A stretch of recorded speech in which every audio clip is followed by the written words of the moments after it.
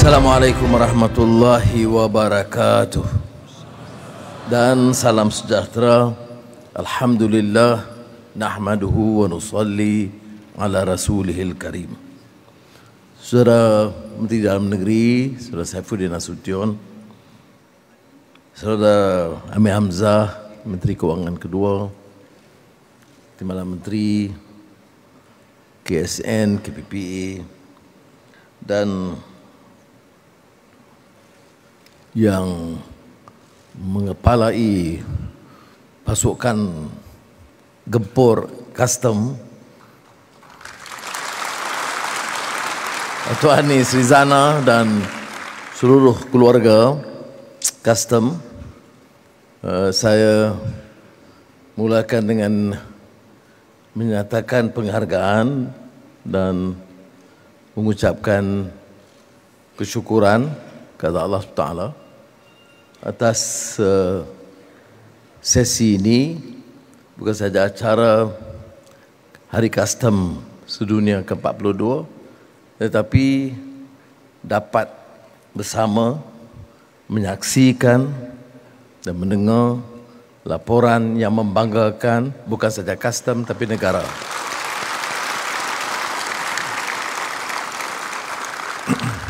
Saya saya percaya rakan-rakan menteri dan KSN mendengar dan KSP juga dengan tekun dan teliti dan tentunya sebagai satu agensi penting dan disebut tadi tonggak dalam ekonomi dan juga penguatkuasaan negara custom punyai peranan yang besar.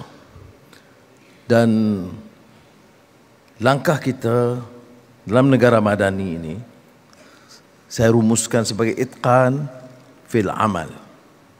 Menyempurnakan tugas dan kesediaan untuk memperbaiki meningkatkan striving for excellence.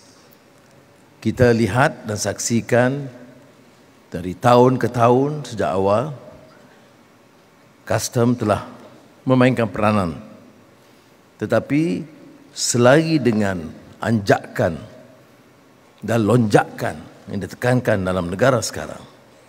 Kita mengharapkan sesuatu yang lebih baik. Kita punya keupayaan. Negara ini sebenarnya bertuah.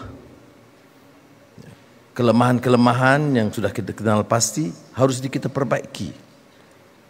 Dalam seluruh keluarga custom kita dengar berita yang membanggakan sebab itu saya menyokong usaha-usaha ketua pengarah, timbalan dan pimpinan untuk terus bertegas memperbaiki disiplin dan menjadikan custom Malaysia ini sebagai custom satu badan yang cukup wibawa punya integriti sesuai dengan semangat baru madani untuk melonjakkan kita ke tahap yang lebih tinggi.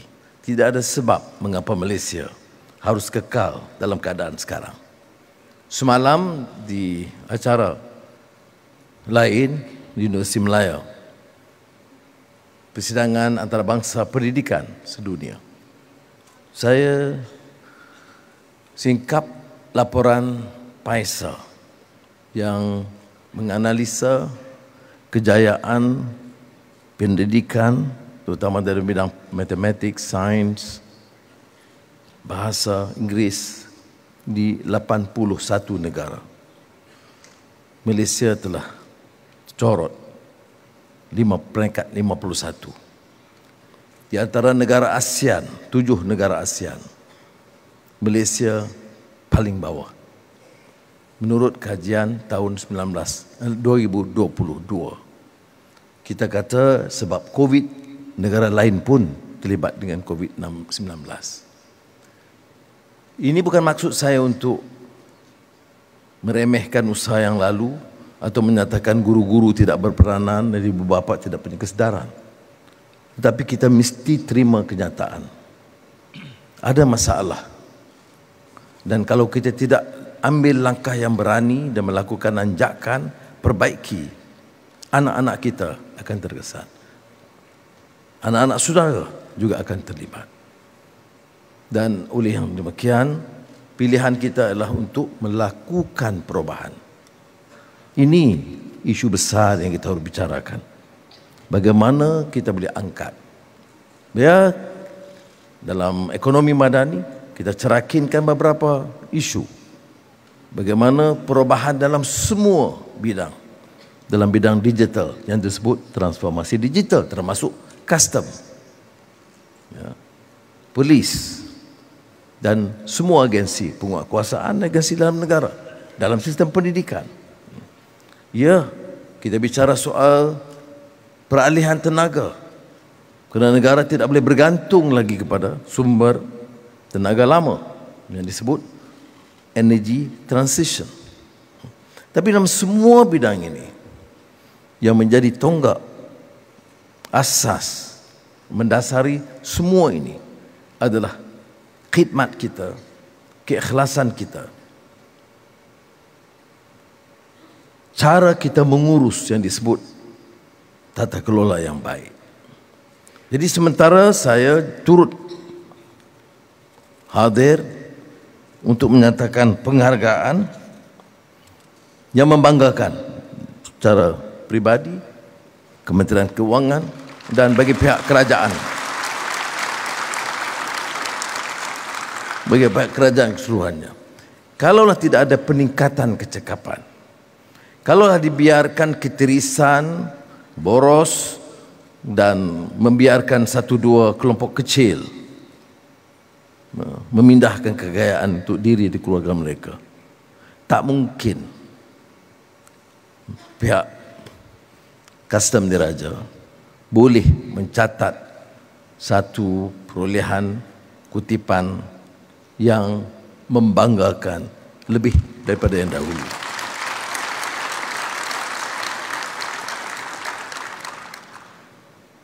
Ini mencatat rekod bagi negara. Dan ini apa maknanya? Bila sudah pilih dan dapat mengumpulkan 55.1 bilion ringgit maknanya hasil negara bertambah. Dan kalau negara itu punya pimpinan yang tegas, elak daripada keterisan. Wang yang sudah kutip itu akan kembali kepada anak-anak kita di sekolah. Ibu bapa kita yang dirawat di hospital. Perasaan lebih baik. Jadi tanggungjawab saudara mengumpul dana. Tanggungjawab semua jabatan lain memastikan dana itu diurus dengan baik. Jadi saya akan tentunya sampaikan juga kepada rakan-rakan yang lain bahawa kejayaan susah adalah sumbangan besar kepada keluarga kita di seluruh negara.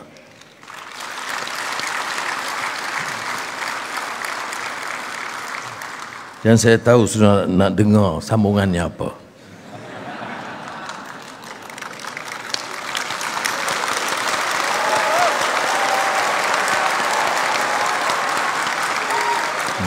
Sebelum itu Sekarang kena dengar kuliah saya dulu.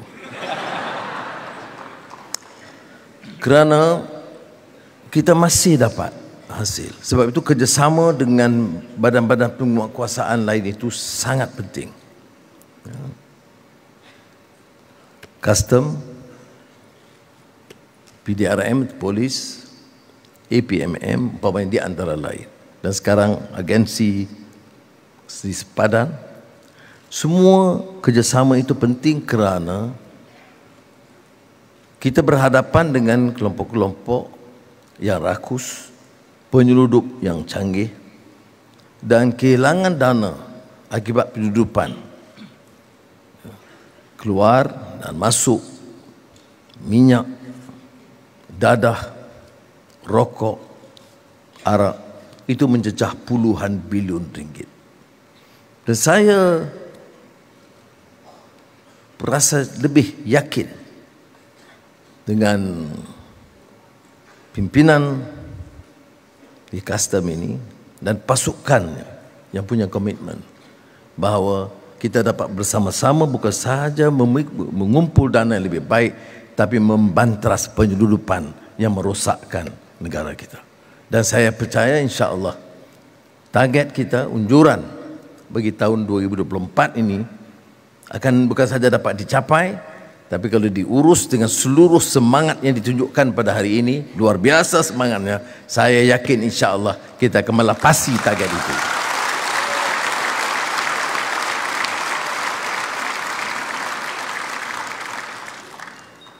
Dan sebagai penghargaan kepada JKDM pada peringkat ini ya dan dan penghargaan ini bukan saja kutipan cukai yang kadang-kadang bolos juga ya kita tahu sebab itu um, saudara yang hadir dalam mesyuarat pasca kabinet mingguan kadang-kadang lihat nada saya itu agak keras dan tidak ada sebab hal ini berlaku. Maknanya segelintir kecil merosakkan imej dan pengorbanan ramai rakan-rakan. Jadi uh, tetapi kita juga menyaksikan ya, catatan yang membanggakan termasuk pihak JKDM pihak custom ini dengan dalam dalam usaha untuk banteras penyeludupan dadah yang sudah mencecah jumlah yang agak besar. Dan bila ada ketegasan kita lihat umpamanya baru-baru ini PDRM juga telah mengambil langkah bertindak malah menangkap dan hari ini mendakwa kelompok yang bermaharajalela sekian lama. Ya, itu penyusup dadah terkenal di Sabah. Jadi saya hargai dan saya menaruh keyakinan. Sebab itulah saya boleh beri jaminan bonus tahun ini akan lebih baik daripada sebelumnya.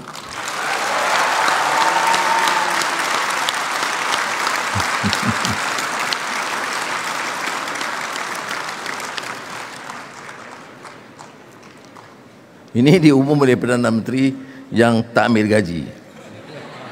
Dan menteri-menteri yang dipotong 20% gaji mereka.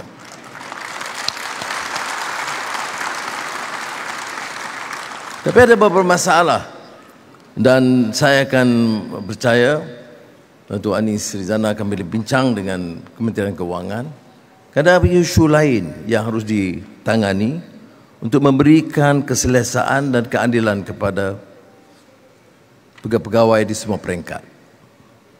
Perumahan satu masalah besar. Ya.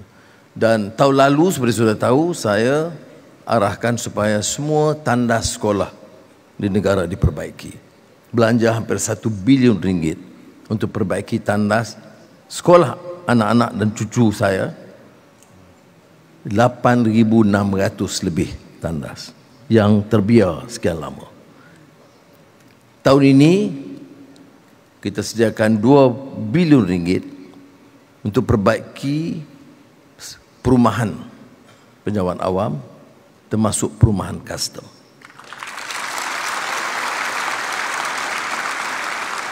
Tetapi memandangkan prestasi JKDM itu yang membanggakan maka peruntukan awal yang 20 juta itu kita tambah untuk custom saja 50 juta ringgit.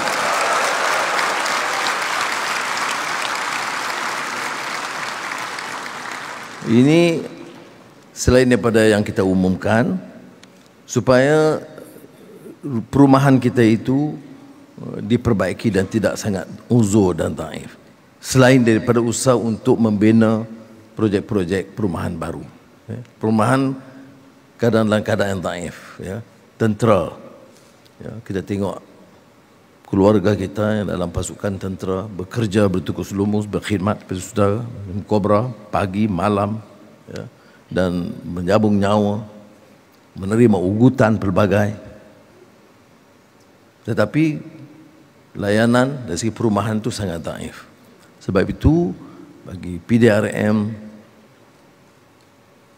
Ketan Tentera Malaysia, APMM dan JKDM, kita bagi keutamaan perumahan tahun 2024 Dan saya minta ini disegerakan. Tak ikut proses tender biasa dia terpaksa kita ikut tender. Kerana bila tak ikut tender amalan dulu bila dipergikan negotiated ini ya bila ada rundingan ini rundingan ini 10% 20% dia bocor ke lain.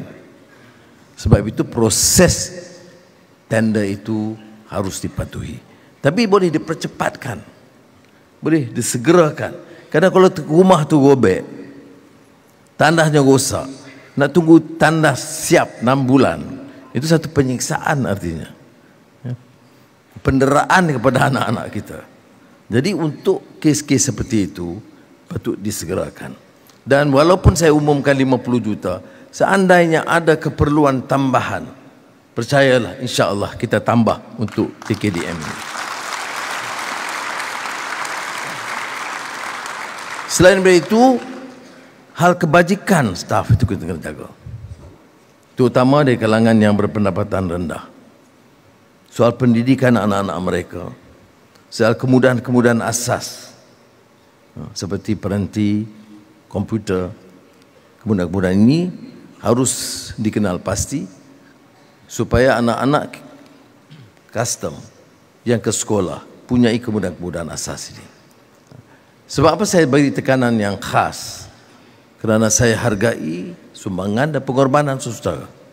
Dan ini yang juga akan terpakai kepada PDRM dan Angkatan Tentera Malaysia. Supaya ibu bapa dan bapa yang bertarung nyawa, menyabung nyawa, bertarung di barisan hadapan, tidak rasa terlalu terganggu kerana masalah di rumah dia atau kemudian asas anak-anak dia di sekolah dia ada beberapa pertimbangan khas yang sedang kita rangka. Kalau lambat itu salah Menteri Keuangan kedua Amir Hamzah dan KSP saya dah bagi arahan I consider it done as soon as possible insyaAllah. Jadi sekali lagi saya ucapkan terima kasih dan uh, saya bangga dapat bersama pada hari ini. Dan yang custom ni kita memang lalui biasa. Saya tiap kali kena ditanya oleh custom terutama dulu sebagai ketua pembangkang. Tapi mereka layan sangat baik. Saya terima kasih banyak-banyak. Tapi ada satu kisah yang saya cerita di mesyuarat pasca kabinet. Tahun lalu beberapa bulan setelah saya jadi Perdana Menteri sahabat lama saya seorang Arab dia tiap tahun bagi saya satu tong minyak zaitun dan saya bawa dan bagi-bagi kepada keluarga dan kawan-kawan dan staff. Satu tu minyak zaitun yang ditanam uh, di kawasan rumah dia. Tahun ini custom Kelang kenakan cukai RM500 kepada saya. Saya kata, saya bukan meniaga. Tapi saya tidak mahu rayu. Saya nak bagi ini contoh. Kalau Perdana Menteri pun terpaksa bayar cukai, rakyat lain jangan menipu.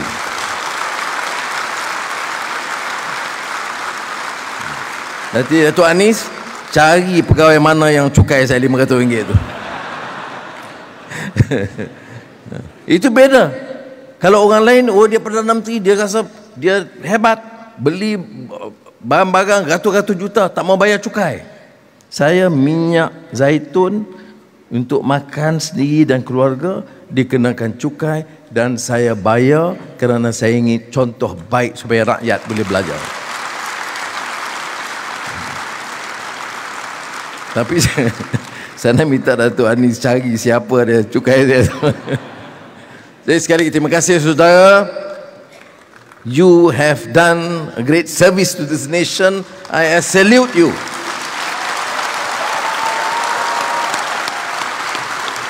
Semoga Allah memberkati usaha kita bersama dan angkat martabat negara Malaysia ini sebagai negara hebat di rantau ini semula insya-Allah. Assalamualaikum warahmatullahi wabarakatuh.